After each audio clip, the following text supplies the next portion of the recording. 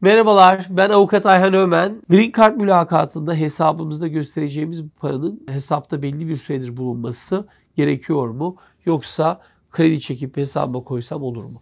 Şimdi şunu unutmayın. Tabii ki paranın sizin olduğunuzu göstermeniz ve inandırıcılığı noktasında hesabınızda bir süredir bulunuyor olduğunu göstermek mantıklı. Ama hesabınızda bulunmuyorsa, yeni geliyorsa o zaman onun nereden elde edildiğini göstermeniz gerekecektir. Dolayısıyla önemli olan sonradan bir para ya da çok kısa süreli bir para geliyorsa hesaba bunun nereden kazanıldığını açıklamanız gerekir. Yoksa tabii ki hesapta bir süredir bulunuyor olması artı bir durumdur diyebiliriz.